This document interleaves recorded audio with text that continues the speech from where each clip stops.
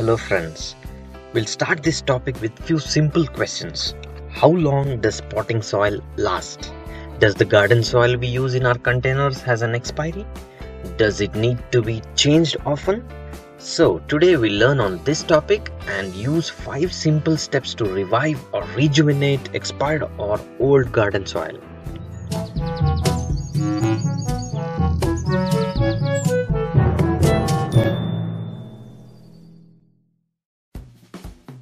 Interested in gardening, please subscribe to my channel with the bell icon clicked so that you receive notifications on my new uploads.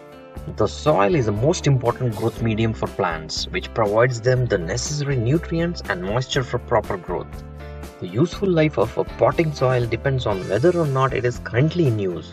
Today's focus is mainly on unused potting soil and how to recharge it with a few simple steps.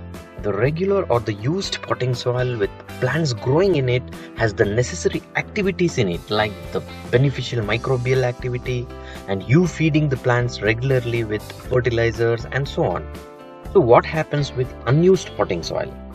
It actually lasts roughly about 6 months before it degrades in quality and depletion of nutrients and the beneficial microorganisms go into a period of dormancy that is a state of inactivity.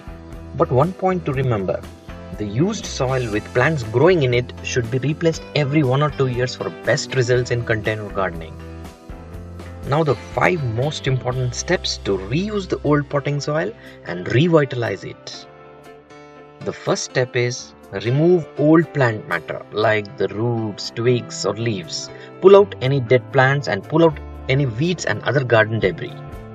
Then second step, fluff and till the soil. Make a layer of about 3 to 4 inches. Break up any large clots as you loosen the soil. Sprinkle some water on the top and dry it in sunlight for at least a week. You can cover this with a polythene sheet after 2 days so that weeds do not invade this layer and also it protects from rains. One simple hack here to check whether the soil is ready for further processing, you can squeeze a handful of the soil into a tight ball Flick the ball with your fingers. If it falls apart, the soil is dry enough to work. If the ball retains its shape or uh, only develops a slight dent, the soil is too wet and must dry for some more time before you can proceed to revitalize it. The third step is soil pH test. This step is optional. You can do a soil pH test before and after the process of adding nutrients. Based on this, you can adjust the nutrients to properly adjust the soil pH to your desired level. You can check related videos on this topic like wood ash in gardening and vinegar or alum in gardening to make it more acidic or alkaline and many other similar videos from my channel. Then the fourth step is the most important one, adding the nutrients to the soil. Mix it with fresh compost like decomposed cow powder or any compost at a 1 is to 1 ratio or at least 30%. To combat fungus and other harmful pathogens organically, you can add about 10% neem cake powder if available.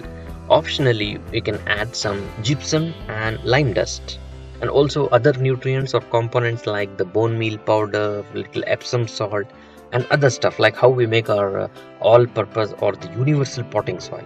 You can check out my video on this topic from a card link the top right corner of this video. Then the fifth step is mixing. Mix it thoroughly well. This is also an important step so that you, all your containers get everything right in proper proportions. Neither too less nor too much. Then lastly, if you do not plan to use it right away, always store the soil covered and in dry areas with low humidity and away from dampness. So there we have it folks, that was today's episode on recharging old unused garden soil. If you liked the video, please give it a thumbs up and also share and comment below the video like your feedback or any extra points I missed. Consider subscribing to the channel if you're new to the channel. Happy gardening!